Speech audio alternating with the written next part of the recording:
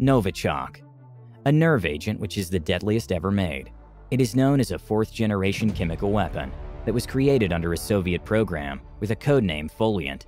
It was developed between 1971 and 1993 in Russia and adapted for military use. However, Russia has never officially confirmed its existence.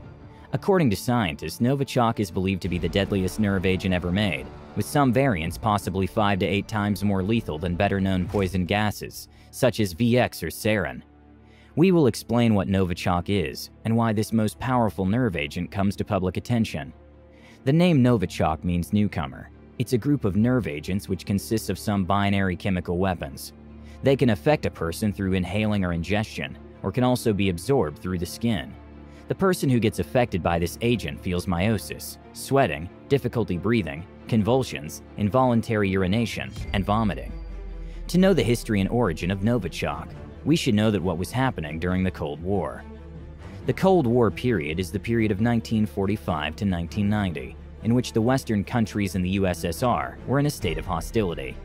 At that time, they were working on the development of mass destruction weapons. Both countries developed a wide range of different agents. The information about some of them is still protected under the name of top secret. Some of these cases came into highlights. One of them was the program Foliant and Novichok. Both programs were developed by the USSR in reaction to the USA and the British invention of the VX agent. Novichok's existence was revealed by chemist Dr. Vil Mirzayanov in the 1990s by the sources of Russian media. Dr. Vil Mirzayanov, after some years, defected to the US.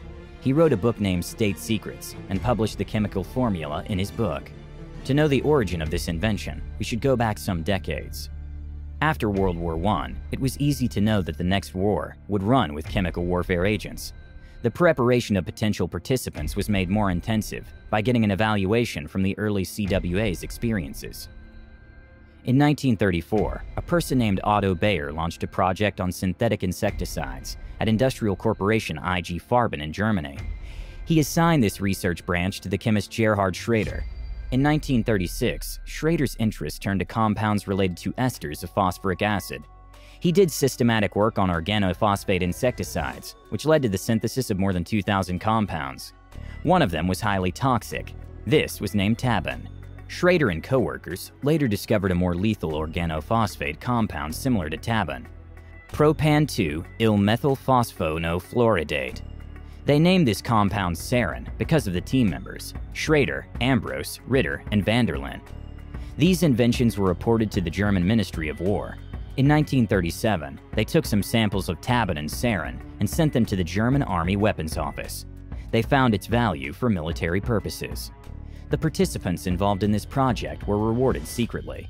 Military men gave it a code name Trilon, and work on these compounds was started. This tabun and sarin were helpful in the invention of a pinacolyl analog of sarin named Soman in 1944. They were invented by Nobel laureate Richard Kuhn and Konrad Henkel. These nerve agents tabun, sarin, and Soman were named as G agents. They named them G agents because G stands for German, as German researchers are at the back of this group of compounds. In April 1945, the Nazi regime produced almost 90,000 tons of tabun, 1,300 tons of sarin, and 20 tons of soman.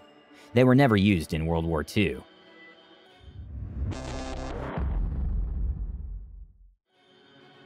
After World War II, the development and production of chemical warfare agents started.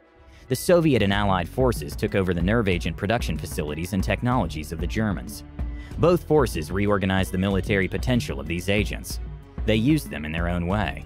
As a result, VX agents were formed by the British, British later traded VX technology with the USA's thermonuclear weapons. On the other hand, Russian scientists developed independently VX agents, which later became the series of Novichok agents. They kept it a secret, but built up enormous stockpiles of chemical weapons. When World War II ended, these international countries agreed to ban the development and use of all chemical and biological weapons. Later on, at the end of the Cold War, they all agreed to prohibit their development, stockpiling, and transfer of all chemical weapons developed during World War I, first generation, World War II, second generation, and the Cold War, third generation, under the name of Chemical Weapons Convention, which was drafted on the 3rd of September 1992 and was signed on the 13th of January 1993. The main aim of Chemical Weapons Convention is to complete destruction of most types of chemical weapons under a specific period of time. Later on, it was administered by the Organization for the Prohibition of Chemical Weapons, OPCW, on the 29th of April 1997. The purpose of OPCW is to inspect the chemical industries and destruction of chemical weapons, except for agents which are used for medicines and civil use. All these destruction activities must take place under the verification of OPCW.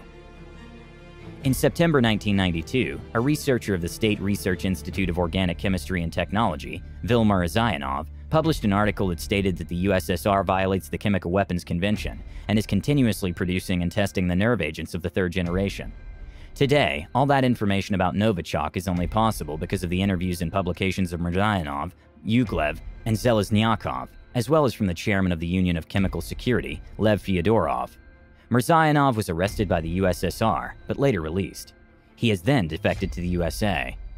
Professor Alastair Hay, belonged from the University of Leeds, said that Novichoks were never declared to the organization for the prohibition of chemical weapons, and the chemicals never formed part of any control regime, partly because of uncertainty about their chemical structures. The Novichok have come to public attention when they were used as a killing agent, Secret agencies use them for their purposes because of the reason that their components are not on the banned list, so that they can easily be transported, handled, and stored. Some of them can take effect very quickly. They're designed to be more toxic than other chemical weapons, so some versions would begin to take effect rapidly, within 30 seconds to 2 minutes. Some of the agents are known to be binary weapons. It means that the nerve agent is typically stored as two less toxic chemical ingredients. When they're mixed, their reaction produces the active toxic agent. Some variables of Novichok are 5 to 8 times more toxic than the VX nerve agent. Some Novichok agents are liquids, some are existing in solid form. It means they could be dispersed as an ultrafine powder. In 1995, Novichok was used for the first time by a Russian businessman, Ivan Kivelidi, and his secretary Zara Izmailova. In Moscow, the poison was in Kivelidi's telephone receiver. At first, it was said that they were poisoned with cadmium, but Russian and foreign media reported that it was Novichok. On March 4, 2018, another case was reported when Sergei Skripal and his daughter Yulia were poisoned in Salisbury, England. Sergei Skripal was likely the target of an order execution. He was charged by the Russian court in 2006 that he had given the names of Russian agents in Europe to Britain's MI6 during 1990. This deadliest nerve agent attacked another victim, Charlie Rowley, and his girlfriend Dawn Sturgess in June 2018.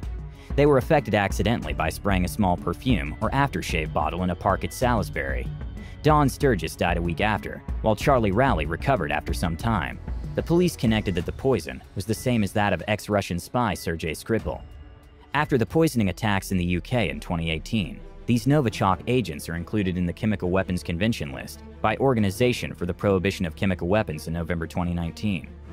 As further investigation happened after Skripal's case, the police found that in 2015, Bulgarian arms dealer Emilian Gebrev, his son, and one of his company's executives were also victims of Novichok. The doctors were unable to identify the name of the poison at that time. Recently, in the year 2020, Russian opposition leader Alexei Navalny was also poisoned through his cup of tea. He was traveling from Tomsk to Moscow.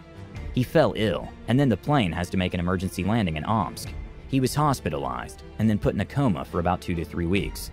Navalny's blood and urine samples confirmed that he was a victim of Novichok, but that was a new type of Novichok that is not included in the Chemical Weapons Convention list. After his recovery in Germany, Navalny decided to return to Russia, where he was immediately charged and taken to prison. Now, we should know how Novichok works. When this nerve agent affects a body, there must be three main symptoms muscarinic, nicotinic, and central. Muscarinic cholinergic causes pupil constriction, glandular hypersecretion, urination, defecation, diaphoresis, and gastric emesis. Nicotinic symptoms belong to initial defasciculating, which leads to weakness and attack of paralyze. Lastly, central nervous system, nerve agent poisoning, emerges as irritability, fatigue, lethargy, seizures, coma, and mostly fatal respiratory depression. Dr. Mirzayanov said there were antidotes, which are named atropine and athene, they could help in stopping the action of the poison, but they were not a cure. If a person is reacted with that nerve agent, it is suggested that their clothing should be removed and their skin should wash with soap and water. Their eyes should be rinsed. They should be given oxygen also. After going through all these facts, we came to know that after passing about 30 years of the invention of this mysterious compound, we're still unaware of the actual data. It seems to be still in the top secret. It is essential to add all kinds of Novichok agents to the chemical weapons convention list. If they're listed, precautionary measures can be taken to avoid future tragedies. There will also be fewer chances of getting victim from this agent. This is no doubt will become a big step to avoid any future mishaps.